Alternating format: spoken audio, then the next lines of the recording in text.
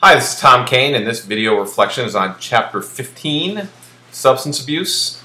Uh, I haven't had any experience, quite frankly, with drugs uh, at all, other than alcohol, and I can expand on my interactions with that. Uh, in high school, um, I wasn't much of a, a, partier or drinker, so to speak.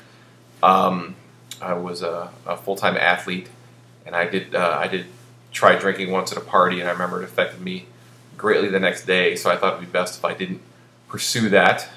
However, when I went to college, um, I certainly experienced many of the things the book mentioned about being interested in girls and going to bars and and being a social thing to do and being grown up and being on your own. So I certainly can relate with a lot of things the book said about drinking and specifically binge drinking. It seems like the competitive desire to outdrink your buddies uh, while stupid uh, certainly is prevalent all over uh, college campuses, and I can certainly attest to my participation in such activities. Um, it uh, I certainly can't in, in do binge drinking today. My body just couldn't take it. And uh, back then, um, some of the dumbest things I've ever done were under the influence of, of alcohol.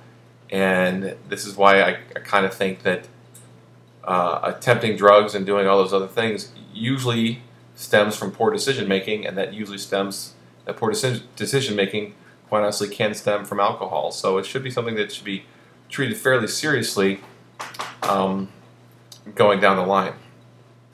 Um, as far as uh, the other topic I'll talk about is uh, cigarette smoking.